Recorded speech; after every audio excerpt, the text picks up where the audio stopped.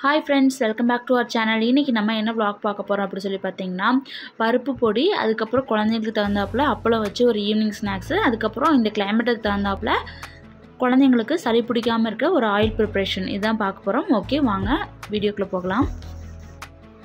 என்கிட்ட வந்து measuring cup இல்லாதனால நான் வந்து இன்றைக்கி வந்து இந்த டம்ளர் வந்து மெஷரிங் கப்பாக வந்து யூஸ் பண்ண போகிறேன் இந்த கப் அளவுக்கு ஒரு கப் அளவுக்கு துவரம் பருப்பு ஒரு கப் அளவுக்கு பாசிப்பருப்பு ஒரு கப் அளவுக்கு உளுத்தம்பருப்பு ஆஃப் கப் அளவுக்கு கடல் பருப்பு அதாவது பொட்டுக்கடலை அதுக்கப்புறம் வந்து பத்து வரமிளகாய் ஒரு ஆஃப் ஸ்பூன் மிளகு ஆஃப் ஸ்பூன் சீரகம் அதுக்கப்புறம் வந்து இந்த தால்ஸ் எல்லாத்தையுமே வந்து நம்ம என்ன பண்ண போகிறோம் அப்படின்னு சொல்லி பார்த்தீங்கன்னா தனித்தனியாக வந்து ட்ரை ரோஸ்ட் பண்ண போகிறோம் நம்ம நல்லா வந்து ட்ரை ரோஸ்ட் பண்ணும்போதே வந்து அதோட ஸ்மெல் வந்து அவ்வளோ நல்லா இருக்கும். அதுமாதிரி அதோட கலரும் வந்து மாறி வரணும். அப்போ தான் வந்து பருப்பு பொடி வந்து அவ்வளோ டேஸ்ட்டாக வரும். நான் வந்து ஸ்லோ மோஷனில் காட்டலை. ஏன்னா வந்து ரொம்ப நேரம் ஆகும் அப்படின்றதுக்காக ஃபாஸ்ட் மூவிங்கில் வந்து போட்டிருக்கேன். நீங்கள் வந்து நல்லா வந்து ஸ்லோ ஃப்ளேமில் வச்சு நல்லா வந்து ட்ரை ரோஸ்ட் பண்ணி எடுத்துக்கோங்க. அதுக்கப்புறம் வந்து ஒரு பத்து பல்லு பூண்டு வந்து நம்ம தோலோடு ஆட் பண்ணாலும் ஓகே உங்களுக்கு வந்து தோலோடு போடுறது பிடிக்கல அப்படின்னா வந்துட்டு நீங்கள் வந்து அதை வந்து உரிச்சும் நான் வந்து ஆட் பண்ணிக்கலாம். நான் வந்து உரித்து ஒரு பத்து பல்லுக்கிட்ட வந்து எடுத்து வச்சுருக்கேன். இது எல்லாமே வந்துட்டு நம்ம தனித்தனியாக தான் வந்து ரோஸ்ட் பண்ணி வைக்கணும். ஒன்றா வந்து நம்ம போட்டு ரோஸ்ட் பண்ணோம் அப்படின்னா ஒன்றுக்கு ஒன்று வந்து அந்த பருப்போட டேஸ்ட்டோ ஃப்ளேவரும் வந்து மாற வாய்ப்பு இருக்குது அதனால் முடிஞ்ச அளவுக்கு வந்து தனித்தனியாகவே வந்து ரோஸ்ட் பண்ணி எடுத்துக்கோங்க. உளுந்து நல்லா வணக்கும் போது அதோட ஸ்மெல் வந்து அவ்வளோ நல்லாயிருக்கும் இந்த மாதிரி பருப்பு பொடி வந்துட்டு குழந்தைங்களுக்கு வந்து அவ்வளோ ஹெல்த்தி இதில் வந்து ப்ரோட்டீன்ஸ் அதிகமாக இருக்கனால வந்துட்டு கண்டிப்பாக வந்து குழந்தைங்க சாப்பிடுவாங்க. இந்த பருப்பு பொடியை வந்துட்டு நம்ம வந்து நெய் கூடையோ இல்லைனா வந்து நல்லெண்ணெய் கூடையோ வச்சு சாப்பிடும்போது அவ்வளோ நல்லாயிருக்கும் இந்த மாதிரி நம்ம ஒரு மந்த்லி வந்து ஒரு கால் கிலோ அளவுக்கு எடுத்து நம்ம ப்ரிப்பேர் பண்ணி வச்சுக்கிட்டோம் அப்படின்னா அந்த மந்த் ஃபுல்லாகவே வந்துட்டு நமக்கு யூஸ்ஃபுல்லாக இருக்கும். ரொம்ப அதிகமாக செஞ்சு ஸ்டோர் பண்ணி வைக்கணும் அப்படின்றது இல்லை. நம்ம தீர தீர கொஞ்சம் கொஞ்சமாக வந்து இந்த மாதிரி வந்து செஞ்சு வச்சுக்கலாம். நம்ம வந்து குழந்தைங்களுக்கு வந்துட்டு எப்போதும் ஒரே டிஷ் கொடுக்குறதுக்கு பதிலாக இந்த மாதிரி வந்து கொஞ்சம் ரைஸ் கூட இந்த மாதிரி பருப்பு பொடி போட்டு கீ போட்டு கொடுத்தோம் அப்படின்னா அவ்வளோ ஹெல்த்து அவங்களும் நல்லா விரும்பி சாப்பிடுவாங்க. பாருங்கள் நம்மளோட பூண்டு இந்த அளவுக்கு வந்து ட்ரை ரோஸ்ட் ஆகணும். அதுக்கப்புறம் வந்து ஒரு கைப்பிடி அளவு கருவேப்பிலை ஃப்ரெஷ்ஷான கருவேப்பிலை ஆட் பண்ணிக்கோங்க.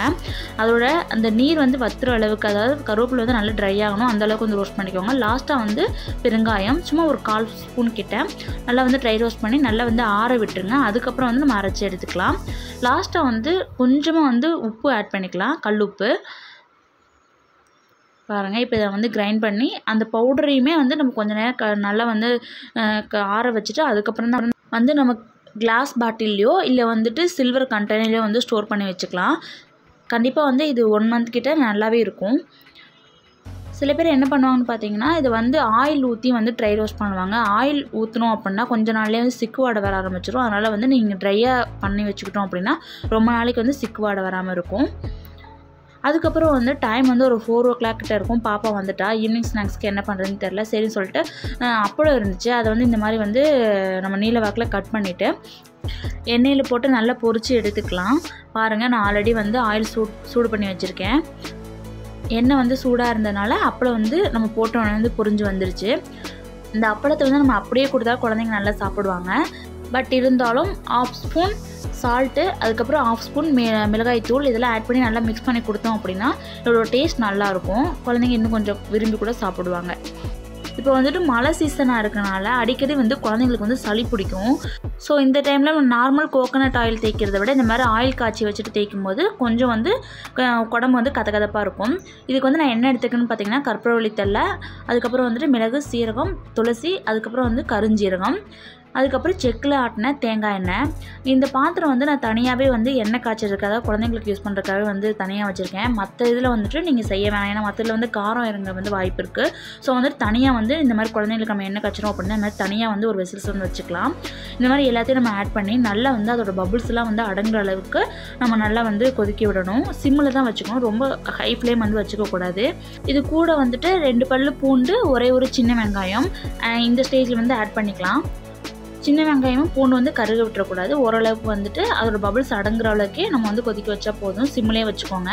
இந்த எண்ணெய் வந்து நம்ம எப்படி யூஸ் பண்ணணும் அப்படின்னு சொல்லி பார்த்தீங்கன்னா இப்போ வந்து ஒருவேளை குழந்தைங்களுக்கு வந்து கோல்டாக இருக்குது அப்படின்னா டாக்டர் வந்து ப்ரிஸ்கிரிப்ஷன் கொடுத்துருப்பாங்க இல்லையா? அது கூடவே வந்துட்டு இந்த எண்ணெயை வந்துட்டு நம்ம எப்போல்லாம் யூஸ் பண்ணுறோமோ அப்போல்லாம் வந்துட்டு லைட்டாக சூடு பண்ணி ஒரு வார்ம் லெவலில் நம்ம கை பொறுக்கிற சூடு அளவுக்கு நம்ம குழந்தைங்களோட நெஞ்சு பகுதி அதுக்கப்புறம் வந்து காதுக்கு பின்னாடி ரெண்டு பகுதி அதுக்கப்புறம் தொண்டை பகுதி அதுக்கப்புறம் வந்து ஷோல்டர் நம்மளோட குழந்தைங்களோட கால் ஜா ஜாயின்ஸ் இருக்கு இல்லையா? அந்த இடத்துல கையோட ஜாயின்ஸ் இந்த இடத்துல நம்ம நல்லா வந்து அந்த வார்ம் லெவலில் வந்து குழந்தைக்கு அப்ளை பண்ணி விட்டோம் அப்படின்னா சளி வந்து ரொம்ப கட்டாது. நெஞ்சு சளி அளவுக்கு போகாது. அவங்க மோஷன் போகும்போதே சளியும் வந்து அந்த மோஷன்லேயும் வந்து வெளியேறும். இந்த பிளாக் உங்களுக்கு யூஸ்ஃபுல்லாக இருக்கும்னு சொல்லி நம்புகிறேன் தேங்க்ஸ் ஃபார் வாட்சிங்